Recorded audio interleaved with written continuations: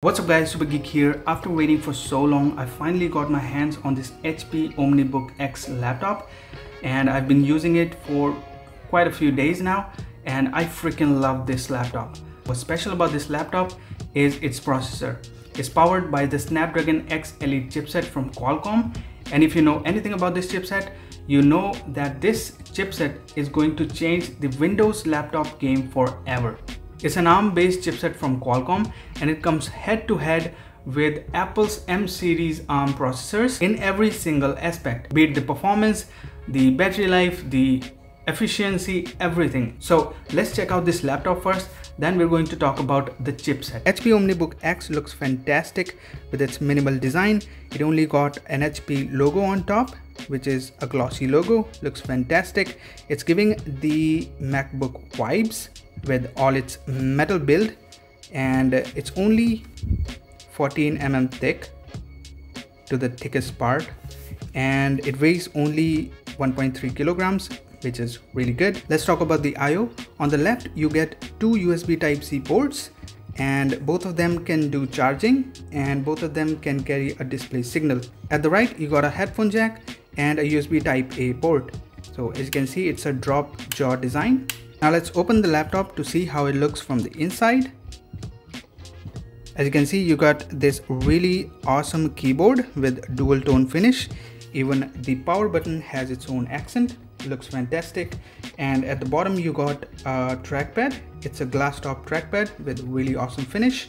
And here you get the Snapdragon X Elite sticker and the OmniBook's branding. So I really like this layout.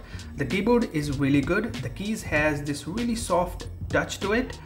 And the function keys are different colors with shortcuts on them. So you can use them to control different things. And uh, the keyboard is backlit. There are two levels of brightness. You may not be able to see the backlight in this lighting but the backlight is pretty good for low light conditions. And let's turn let's turn it off. And it got this copilot key which replaces your right control key. Now let's come to the trackpad. It's really large and it got glass top. That means it's really nice to touch and it's very accurate as well. Let's now talk about this awesome display.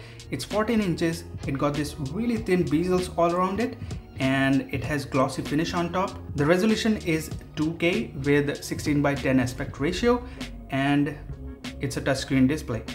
At the top you get this 5 megapixel camera with privacy shutter and it also comes with Windows Hello support which is fantastic. The display's color tone is a bit warm is because it's a certified display to protect your eyes from blue light. The display is great, it's uh, really contrasty and it got really vibrant colors. The only problem with this display is that it got only 300 nits of brightness. It's not good for this price point and it got this glossy finish which is again not good when you're working outdoors.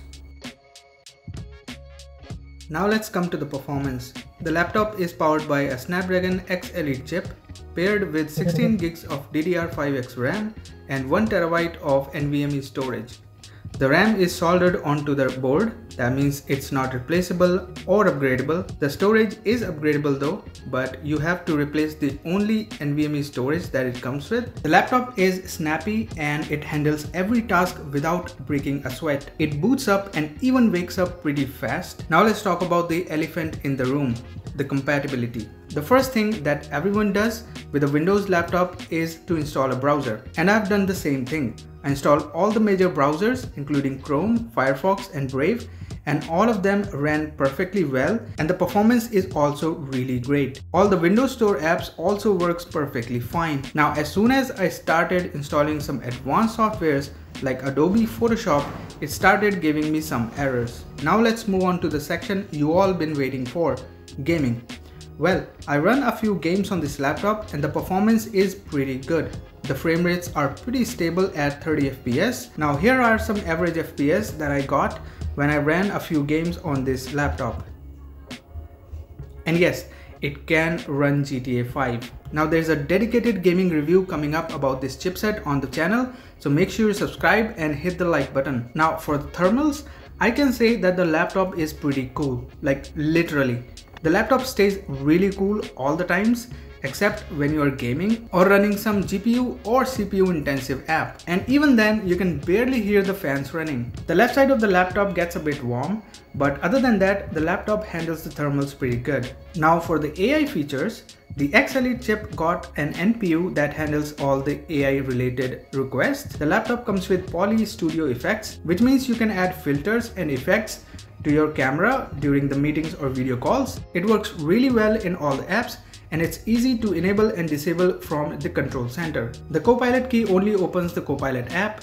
Uh, there's no AI magic there. There's an AI companion from HP as well, but it's just another ChatGPT tab in a browser there's nothing unique about it at all. Now let's move on to the battery. This laptop comes with 59 watt hour battery with 65 watt fast charging which is delivered through Type-C port. HP claims 26 hours of battery backup, which is a bit far-fetched. I easily got about 10 to 12 hours of battery backup, and that includes a few hours of lightweight gaming. So that's pretty much it about HP OmniBook X. I know I didn't go very deep into the review because I only got this laptop like for a few days. So if you have any questions related to the laptop or the chipset, please share them in the comments and I'll get to it ASAP. So that's it for today guys. Hope you liked the video. Hit the like button, get subscribed and I'll see you in the next one.